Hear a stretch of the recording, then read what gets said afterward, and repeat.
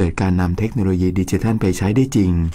โดยรายละเอียดในเรื่องนี้นะครับ วันนี้เราจะไปสอบถามจากท่านผู้อำนวยการสำนักงานส่งเสริมเศรษฐกิจดิจิทัล ดร.ณัฐพล นิมมานพัชรินทร์ ขณะนี้ท่านพร้อมที่จะให้รายละเอียดกับเราแล้วนะครับ สวัสดีครับท่านผู้อำนวยการครับ ครับ สวัสดีครับ ท่านผู้อำนวยการครับ depa นี่เข้ามามีส่วนเกี่ยวข้องกับผู้ประกอบการสตาร์ทอัพยังไงบ้างครับเอ่อสำนักงานส่งเสริมเศรษฐกิจดิจิทัลหรือ depa นะครับเอ่อเอ่อ คงได้ยินคำว่า depa บ่อยนะครับ ความจริงเราก็มีหน้าที่ในการส่งเสริมในการที่จะให้เอ่อสังคมชุมชนท้องถิ่นนะครับ ระบบเศรษฐกิจในการประยุกต์ใช้เอ่อในเรื่องของเทคโนโลยี และก็นวัตกรรมดิจิทัลนะครับครับขณะเดียวกันเรายังส่งเสริมให้เกิดการพัฒนาผู้ประกอบการวิสาหกิจดิจิทัลเริ่มต้นเอ่อการลงทุนในอุตสาหกรรมดิจิทัลที่ประกอบไปด้วยอุตสาหกรรมซอฟต์แวร์ อุตสาหกรรมฮาร์ดแวร์ smart device อุปกรณ์อัจฉริยะนะครับอุตสาหกรรมที่เกี่ยวกับ digital content และ service บริการต่างๆ ด้วยเออ นอกนี้เนี่ยเรายังมีการพัฒนากำลังคนที่เป็นบุคลากรสำคัญของประเทศไม่ว่าจะเป็นบุคลากรที่เราขาดแคลนนะครับ แล้วก็บุคลากรทั่วไปที่ต้องมีการทำ new skill ใหม่ๆ ที่เกิดขึ้นจากการเปลี่ยนแปลงของเทคโนโลยี ไม่ว่าจะเป็น AI เอ่อไม่ว่าจะเป็นเรื่องของบล็อกเชนไม่ว่าจะเป็นเรื่องของเทคโนโลยีโรบอติกเป็นต้นนะครับครับก็กราบเรียนท่านผู้ฟังนะครับ ให้เอ่อทราบเกี่ยวกับภารกิจเผื่อมีความสนใจก็เข้าไปแวะชมที่ dipa.or.th ได้ครับครับ ทราบว่าทางดีป้ามีโครงการส่งเสริมการลงทุน หรือประกอบกิจการวิสาหกิจเริ่มต้นด้วยใช่ไหมครับ เป็นยังไงครับรายละเอียดในเรื่องนี้เอ่อในจากที่ผมนำเรียนเกี่ยวกับเรื่องของการส่งเสริมเศรษฐกิจดิจิทัลนะครับหนึ่งในโครงการสำคัญของดีป้าที่เราทำมาโดยตลอดเนี่ยคือการที่จะปรุงฟักบ่มเพาะนะครับหรือแม้แต่ให้คำปรึกษา แล้วก็สร้างวิสาหกิจดิจิทัลเริ่มต้นนะครับวิสาหกิจดิจิทัลคำว่าเริ่มต้นก็หมายความว่าน้องๆใหม่ ๆ นะครับ ที่กำลังทำธุรกิจที่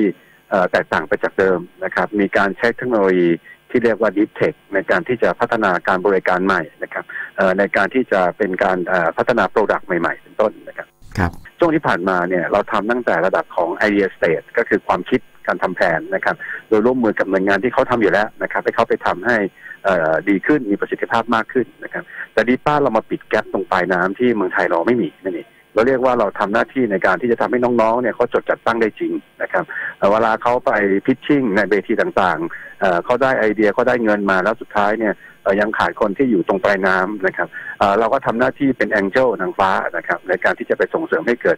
สตาร์ทอัพเหล่านี้นะครับครับนางฟ้าก็หมายถึงเงินจดทะเบียนที่เขาจะต้องใช้ในการเริ่มต้นธุรกิจนะครับเอ่อแต่เราไม่ได้ให้ฟรีนะครับ เราก็เป็นรูปแบบของการที่จะมีเอ่อเป็นเรื่องของเอ่อ comfortable เอ่อ VC นั่นเองก็คือเลือกที่จะเอ่อคืนเงินเมื่อจบโครงการ หรือจะให้เราเข้าไปช่วยถือหุ้นนะครับ ในส่วนของการส่งเสริมการเริ่มต้นธุรกิจของดิจิทัลสตาร์ทอัพทางดีป้านั้นมีรูปแบบการส่งเสริมหรือว่าสนับสนุนยังไงครับ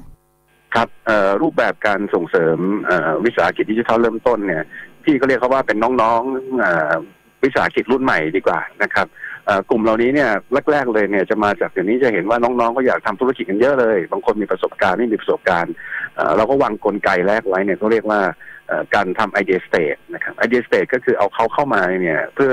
groom ให้ไอเดียเหล่านั้นมันกลายมาเป็นแนวทางการประกอบธุรกิจได้จริงนะ ครับถ้าเกิดว่าเขาบอกอยากจะแปลงไอเดียเหล่านี้เนี่ยไปหาคนที่จะเป็นพวก consultancy company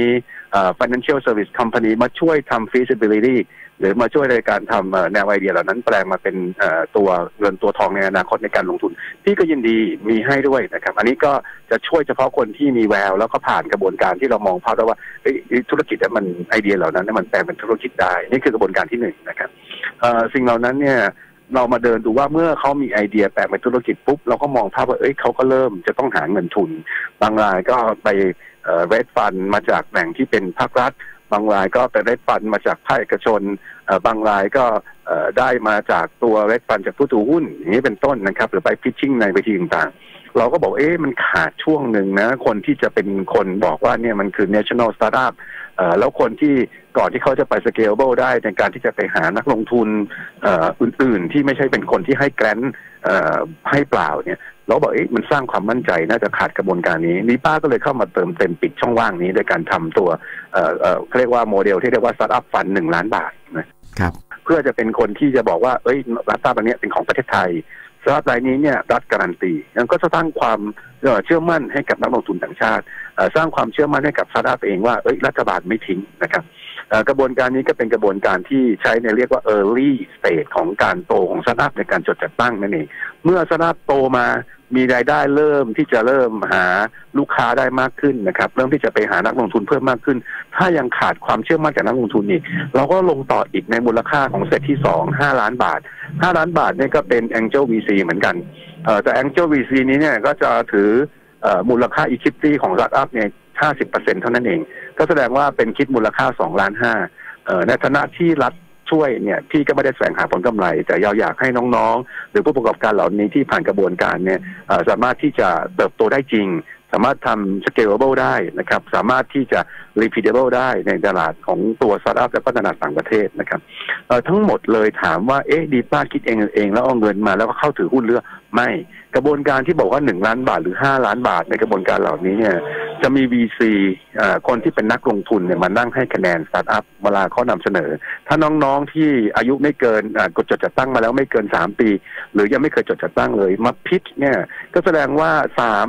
เสียงของ VC ที่บอกว่าเฮ้ยธุรกิจนี้มันไปได้ ธุรกิจนี้มันไปได้ ธุรกิจนี้มันไปได้ ถ้าไปห้าเสียงนี่ yes เลย ถ้าไปสามเสียงขึ้นไป ก็ต้องมานั่ง discuss กันว่าอะไรคือจุดบอดของสตาร์ทอัพเหล่านั้นนะครับ แล้วเราก็มาหาตัว accelerating โปรแกรมเรามาหาตัว incubation โปรแกรมไปช่วยเขาให้เติมเต็มก่อน มาเอาคะแนนให้ได้เยอะก่อน แล้วค่อยกลับมาพิชใหม่นั่นคือถ้าแรงว่า VC เป็นตัวยืนยัน นักลงทุนเป็นตัวยืนยันว่ารายนี้ถ้ารัฐบาลช่วยสักหน่อยนะ ผมจะลงด้วย อย่างที่ผ่านมาในอดีตเนี่ย วลาเราเรียกสตาร์ทอัพมาทำการกระบวนการเหล่านี้เนี่ยนะครับ เราจะเห็นว่าเอ่อ VC บางตัวดีป้ายังไม่ทันปล่อยบอกช่วยเลย บอกจะเป็น national startup เข้าถือหุ้นในฐานะรัฐบาลโดยดีป้าเนี่ย VC ยกมือผมให้ก่อนเลย ให้ก่อนเลย แสดงว่ามันมี potential สูงมากเลย แต่มันขาด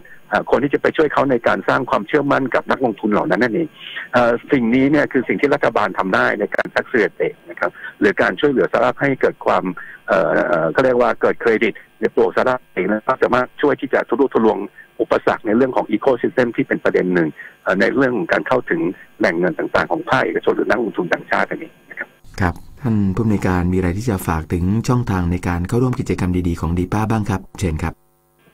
เอ่อต้องฝากเรียนเอ่อท่านผู้ฟังนะครับน้องๆหรือเผื่อฟังรายการนี้อยู่นะครับเอ่อเราก็ใช้โลกเดี๋ยวนี้เป็นโลกดิจิทัลหมดแล้วนะครับ ไปดูในรายละเอียดของเฟซบุ๊กดีป้าก็ได้นะครับเอ่อ หรือแม้แต่เข้าไปในเว็บไซต์ของเรานะครับ dipa.or.th หรือมา visit เราที่ดีป้าก็ได้นะครับ ที่ตรงห้าแยกลาดพร้าวอยู่ตรงข้ามยูเนี่ยนมอลล์ครับสุดท้ายนี้นะครับสำหรับน้องๆที่สนใจนะครับ ในโครงการที่เราทำเนี่ยติดต่อนอกจากจะผ่านเว็บไซต์แล้วครั้งล่าสุดเนี่ยเราเปิดรับที่จะให้การลงทุนเนี่ยเกิดขึ้นกับเอ่อ National Digital Startup เนี่ยนะครับ ทั้งหมดเจ็ดสตาร์ทอัพด้วยกันนะครับครับ วันนี้เริ่มแล้วนะครับก็จะมีการเปิดตั้งแต่มิถุนายนจนกระทั่งถึงกรกฎาคม ช่วงประมาณวันที่ 15 กรกฎาคมไปแล้วเนี่ยจะมีการเอามานำเสนอผลงานวันที่ 22 กรกฎาคม แล้วก็ตัดสินกันแจ้งผลวันที่ 30 สิงหา เพราะฉะนั้นเนี่ยในช่วงวันนี้จนถึงวันที่ 15 กรกฎาคม ใครสนใจก็ติดต่อเข้ามาที่เว็บไซต์เรานะครับ แล้วก็สมัครได้เพื่อมาลองพิสูจน์ฝีมือดู เราเชื่อมั่นว่าเด็กไทยเราสามารถจะกลายเป็นผู้ประกอบการรุ่นใหม่ที่ ธุรกิจที่สเกลได้ แล้วก็ธุรกิจที่ repeatable ได้ครับครับเอาละครับวันนี้ขอขอบคุณท่านผู้อำนวยการสำนักงานส่งเสริมเศรษฐกิจดิจิทัล ดรนัทพลนิมานพัชรินอย่างสูงนะครับ ให้เกียรติมาพูดคุยกับเราในเช้านี้ ขอบพระคุณท่านมากครับ สวัสดีครับ